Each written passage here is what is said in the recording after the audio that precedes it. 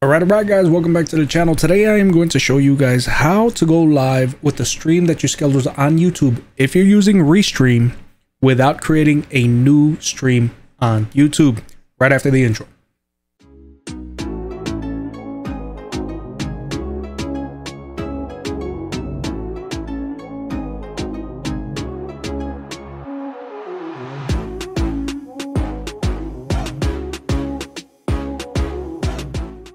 Now, for those of you who don't know what Restream.io is, it is a service, and most of the time a free service, that allows you to stream your content to multiple platforms at once via YouTube, Twitch, Facebook, Trovo, DLive, whatever you want. You can even do custom RTMPs in there. However, for the longest time, I ran into this issue, which was very strange to me, where I would schedule a stream on YouTube, and when I would go live in Restream, it would actually create a new live stream as opposed to connecting to the one that I had already scheduled. I'm going to show you guys how to go ahead and rectify that issue very quickly. So the first thing you're going to want to do is open up YouTube Studio, and you're going to want to schedule a stream as you usually do go to streaming software. I'm just going to reuse my settings and we'll just call this testing. Uh, I'm going to skip everything else because we're not really going live with this one. This is just going to be a dummy stream. So we'll save for tomorrow and God knows whatever time, 10 p.m. We'll make it unlisted so that it doesn't go get thrown out to my followers, my subscribers, and I don't want anyone thinking I'm going live and then I just don't. So we're gonna go ahead and say done. Now that's it. We scheduled our stream. It's unlisted because for the intents and purposes of this video,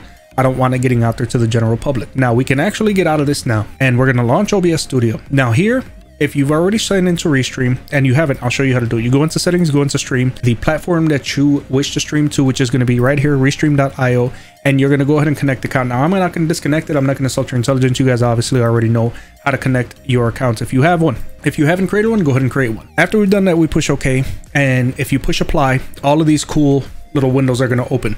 These things integrate seamlessly into Streamlabs OBS or OBS Studio. I do not recommend using Streamlabs OBS. It is a train wreck as of the last year, and I will never pay them money again.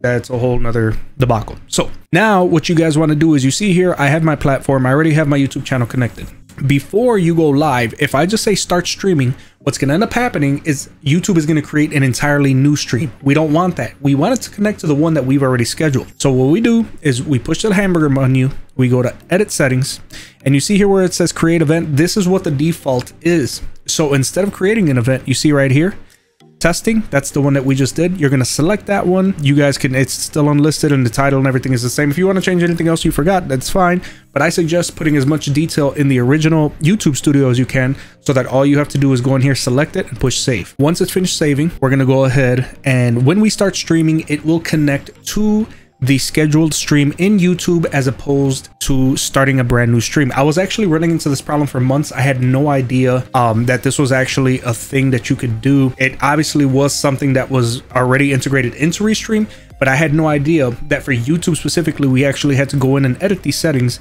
and select the one that was already scheduled. So I really hope that this helped you guys, man. I was actually struggling with this, and the reason that I made it is because I was searching on forums for months and months why is this not working? And then finally, one quick little Reddit post showed, hey, this is how you do it, but I couldn't find any videos on it. So I hope that this helps anybody out there. Guys, remember that Jesus Christ is the only true way to God the Father. He is the truth, the way, and the life, and there is no other way to heaven except through him. Guys, be safe, be good, be blessed. I'll see you when I see you. Take care of each other, and remember that tomorrow isn't promised to anybody.